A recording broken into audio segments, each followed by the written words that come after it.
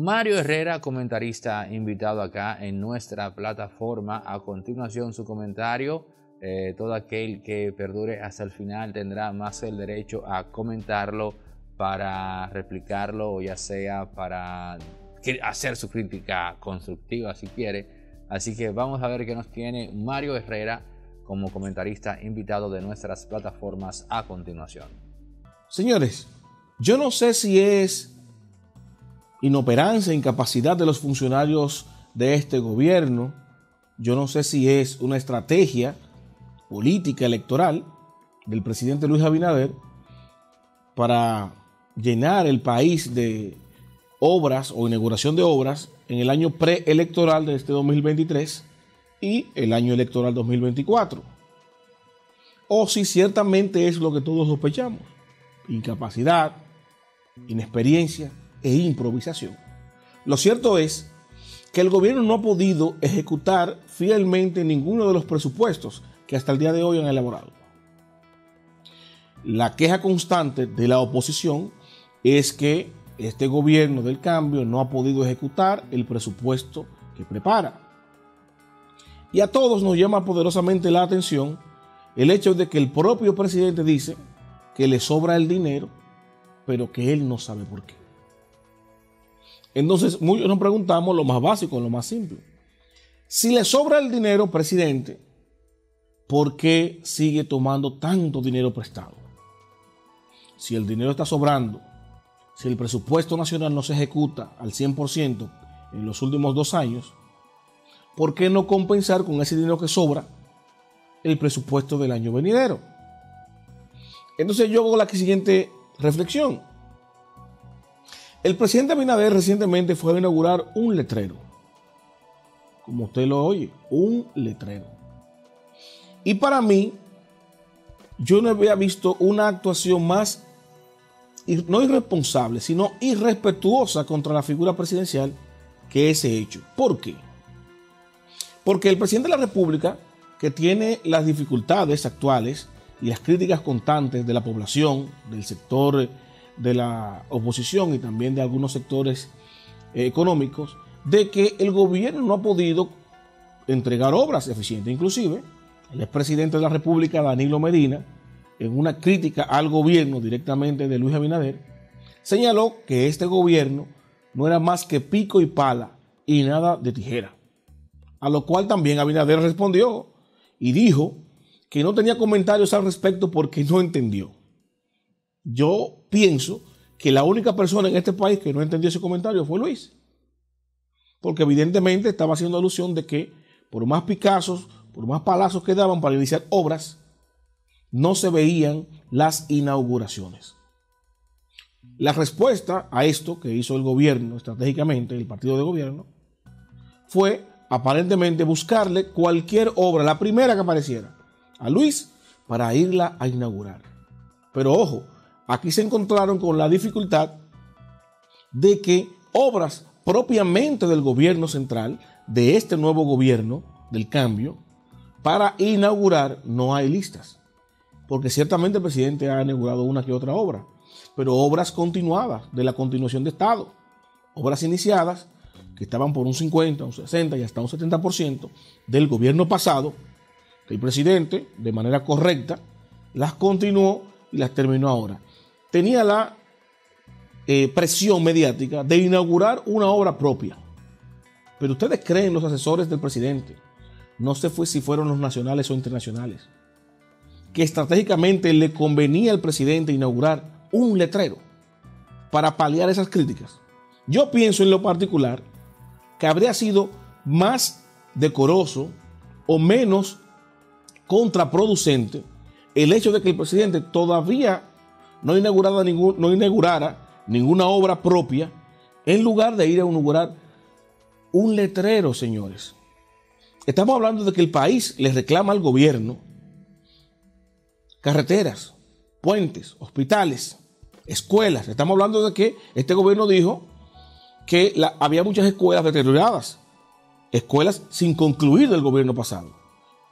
El Ministerio de Educación tuvo que no solamente rentar edificaciones y otros locales para impartir docencia, porque las escuelas no estaban aptas para recibir en su totalidad a los estudiantes, sino que también que tuvo que inventarse un programa para darle 500 dólares por cada estudiante a muchas familias dominicanas, que todavía no sabemos en qué quedó eso, pero es para que ustedes vean más o menos por dónde van las críticas y los reclamos de la sociedad al gobierno. Y el presidente, la solución mediática que pudo implementar fue ir a inaugurar una obra, la primera que apareciera. Y la primera que apareció fue inaugurar un letrero. Yo le recomendaría al presidente de la República que tomara y dejara, tomara y dejara lo más conveniente, no solamente para su figura, no estoy pensando en la reelección, ahora que apenas inicia el año 2023. Piense hacia futuro, piense en su legado. Usted tiene un cuatrenio, un periodo presidencial que concluir, donde la gente al final de cuentas no lo va a evaluar por lo que digan los funcionarios, los compañeritos de partido. No, la gente lo va a evaluar por las realizaciones que usted presente, por las obras que usted complete, por las propuestas que usted hizo en campaña que pueda cumplir hoy. El hecho de que un presidente de la República no tenga más nada que hacer que ir a inaugurar un letrero, lo que hace es ratificar y fortalecer la crítica que le hace la oposición, donde mucha gente, quizás esperanzado por el gobierno y dándole el beneficio de la duda al presidente, decía, no, eso es la oposición jodiendo, inventando, atacando, sacando, politizando todo. Pero cuando esa gente que era ese voto de confianza al presidente, lo ve que va a inaugurar un letrero, lo que dice, bueno, pero lo que dice la oposición es cierto. Los reclamos que hace una parte de la sociedad es cierta. Este gobierno no tiene realizaciones. Este gobierno no tiene obras que inaugurar. Mira cómo está un presidente de la República convocando prensa y dirigiéndose a un municipio de, la provincia del país a inaugurar un letrero en medio de la inflación, en medio del desempleo, en medio de la inseguridad, la obra que se le ocurren a los asesores del presidente para contrarrestar esta ola negativa y mediática que tiene el gobierno actual es inaugurar un letrero. El presidente Luis Abinader tiene mucho, mucho que demostrar todavía. Estamos apenas a mitad del periodo presidencial que le compete que concluye en el 2024, y tiene en juego su reelección, porque a todas estas estamos claros de que él va a repostularse. Y por más encuestas que saquen, con una valoración de un 70%, cada vez que un ciudadano ve un micrófono o en una queja en las redes sociales, aunque no se refiera directamente al presidente Abinader, se refiere a sus funcionarios. Están las quejas por la energía eléctrica, el encarecimiento de la factura, están las quejas por la delincuencia, están las quejas por los policías que maltratan a los ciudadanos, están las quejas por el Intran, e, por, estas medidas improvisadas que lo que hacen es castigar a la, a la población. Están las quejas por la educación, por la salud. Todavía el presidente tiene la oportunidad de reinventarse, de hacer una especie de reenganche con el discurso que en campaña lo posicionó y lo convirtió en presidente de la República, de hacer un cambio, pero un cambio para bien, no un cambio para mal. Señores, las ociosas comparaciones del fallecido Freddy Veras Goico y Santiago Matías Alofoque, lo había comentado yo temprano hoy en el programa de que participo en las tardes, de Mientras tanto Radio, son algo que no es fortuito, no son fortuitas estas comparaciones porque inclusive son autoproclamaciones de Santiago. Él es que ha puesto en boca de todos el hecho de que supuestamente él es el nuevo Freddy Velascoico de la República Dominicana. Yo sostengo, o sea, esta comparación no solamente es irrisoria, eso es, sino que pone en contexto todo lo que realmente es Santiago. Santiago es un experto en marketing digital, en contenido, en, en generar controversias, en el, en el argot popular, buscar sonido. Yo sostenía y sostengo que ambas figuras son incomparables. Señores, Freddy Veragoico era un escritor, compositor, cantante, comediante, actor, libretista, cuentista, cómico, comunicador, periodista, animador, presentador de televisión, productor de televisión. Santiago es productor de contenido, comunicador social y empresario. Son dos perfiles, artística, intelectual y en temas de talento totalmente, totalmente distintos. No hay forma de compararlos. Ahora, en lo que sí se pueden comparar es en la capacidad de crear o generar contenido atractivo para las masas. Y otra de las grandes diferencias en ese aspecto que tienen tanto Freddy como Santiago es que Freddy Veras Goico tenía diferentes flancos de público.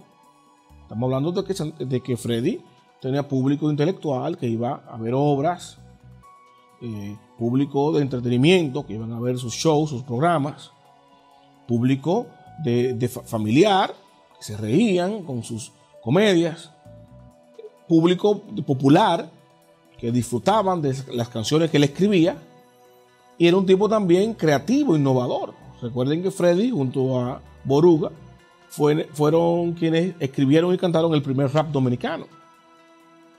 Entonces, ¿qué es lo que busca Santiago con esto? Precisamente crear esto que está pasando en este video.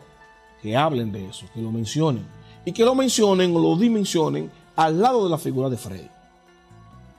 Salió Ivonne diciendo, la Ivonne Veras Goico, la sobrina de Freddy, todo el mundo la conoce en este país, diciendo que esa comparación es una ofensa, es una locura. Y tiene toda la razón. A lo que Santiago le respondió que eso es que ella le había pedido trabajo y como él le dijo que no, ella está dolida con eso y le, y saldó con eso. Y Ivonne le dijo que mostrar la prueba y eventualmente Santiago no mostró nada. Porque él lo que dice, dice lo que dice y que empiece el sonido y hacerse viral. Ahora bien, ¿cuál es mi tesis que yo digo? Esto es un claro ejemplo de lo que ha estado pasando con ese mundo del género urbano, con los creadores de contenido del género urbano y la constante llamada de atención que yo he hecho de la responsabilidad social que tiene este nicho, que tiene Santiago como el mayor exponente, el, el mayor influyente en los medios de comunicación de música urbana, y los otros exponentes urbanos, porque no son todos, pero son la inmensa mayoría, que han llevado el siguiente discurso.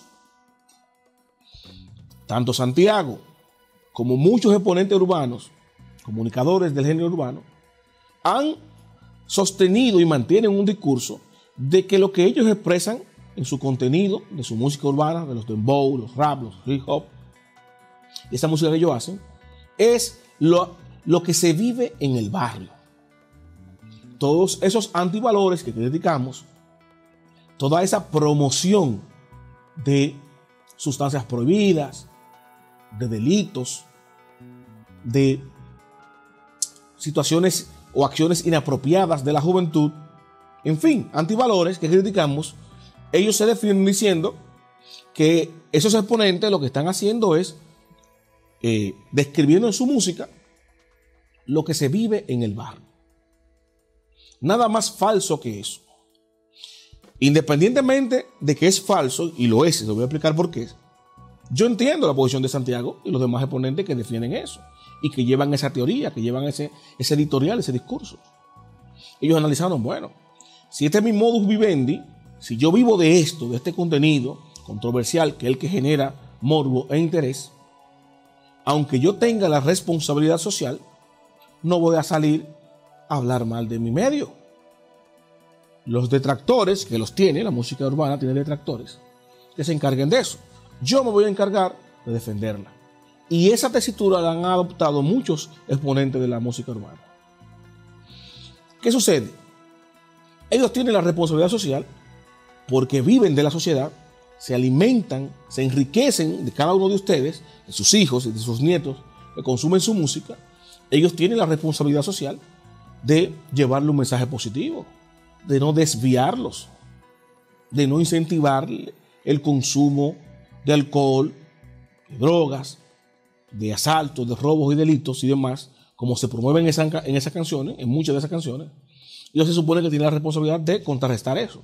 Pero no les interesa hacerlo, porque les interesa que facturar, darse a conocer y facturar.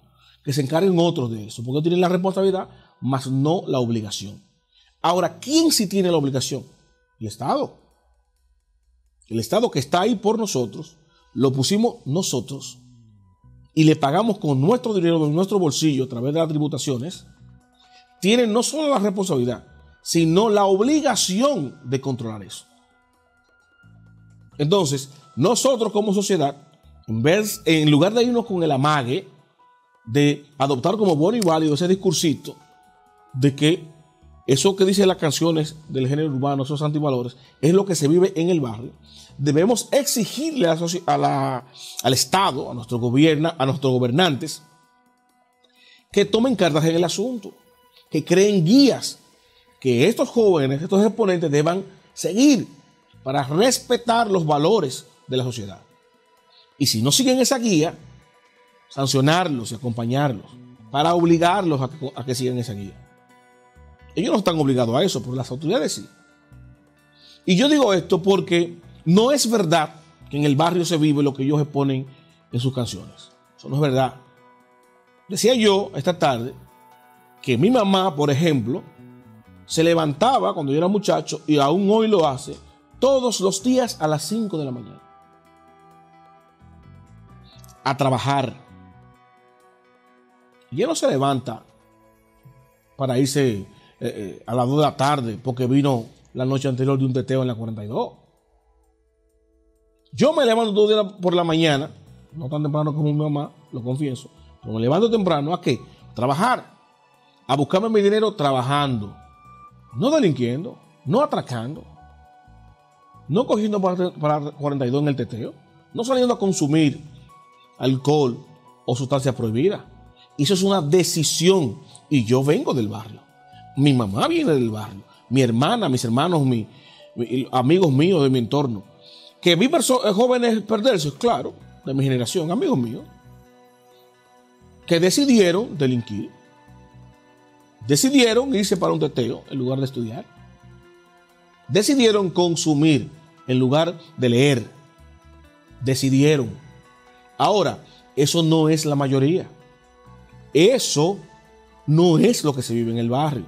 Las estadísticas más recientes de la República Dominicana, para darles un solo dato, establecen que, por ejemplo, 105 de cada mil adolescentes dominicanas quedan embarazadas siendo muy jóvenes, antes de la edad legal. Lo que quiere decir que son sexualmente activas antes de los 18 años. ¿Es una realidad que se ve en el barrio? Sí. ¿Qué quiere decir eso? Que esas jovencitas están teniendo relaciones con adultos prácticamente violadas según la legislatura dominicana. O están teniendo esas relaciones con otros jovencitos. Están desvirtuados. Pero ¿qué porcentaje son? 105 de mil, un 10%. ¿Cuántos jóvenes de los que tenemos en los barrios son nini? ¿La mitad? ¿Más de la mitad? No, menos. ¿Cuántos de esos nini son delincuentes? Son consumidores son atracadores. La mitad, no, mucho menos. Entonces, es verdad que hay ninis, es verdad que hay delincuencia, es verdad que hay consumo, pero no es verdad que esa es la realidad del barrio. Es parte de la realidad del barrio. Pero la inmensa mayoría que está ahí se levanta todos los días a estudiar, a trabajar, a obrar bien. Todos los que tienen un motor no salen a atracar en el motor. Eso es falso salen a trabajar. Y el hecho de que Santiago Matías Alofoque, y yo siempre lo, cojo como, ejemplo porque es, la referencia de este país, es el principal medio de comunicación digital y urbana del país, pero también Luis Nicolporán y los demás que están en el medio urbano. No todos, sino los que han adoptado este discurso, principalmente Santiago, tienen la responsabilidad de no seguir fomentando eso, esa falacia, esa, esa perversidad de decirle a este país, de decirle a usted, que aunque usted no lo sea, todo lo que está alrededor suyo consume, todo lo que está alrededor suyo atraca, roba o está en, contubernio o teniendo relaciones eh, ilícitas e ilegales con menores, con sustancias prohibidas, controladas y haciéndolo mal hecho. Porque eso no es verdad. Eso es una minoría, que es un problema que tenemos que trabajar. Pero no es correcto que se divulgue a través de los medios de comunicación, a través de las redes sociales, que eso es lo que se vive en el barrio. Porque esa falsedad lo que está haciendo es dañando la psique, la mentalidad de los jóvenes que vienen subiendo. Porque esos jovencitos que ahora siguen esa música, que la viven, son los papás de mañana. Y ese muchacho que va a ir convencido de que eso no importa, que eso está bien, que él consuma, que huela, que atrague, que, que haga lo que sea, que eso está bien, porque eso es lo que le vende la música urbana, va a crear un niño al que le va a decir que eso está bien. Y ese es el liderazgo que nosotros queremos que tome las riendas de este país. No. Ellos tienen la responsabilidad, mas no la obligación de hacer eso, Santiago y compañía. Si ellos no lo quieren hacer, nosotros tenemos que exigirle a las autoridades que los obligue a respetar la sociedad y a evitar que sigan mintiendo, dañando la mentalidad la psique de nuestros jóvenes con esas mentiras, por el simple hecho, con el simple fin de seguirse viralizando, seguirse capitalizando con eso e enriqueciendo los bolsillos en contubernio con el crimen organizado, con los capos y los que se alimentan y se benefician de toda esa falsedad que dicen esos temas eh, y con antivalores de la música urbana, que es lo que se vive en el barrio.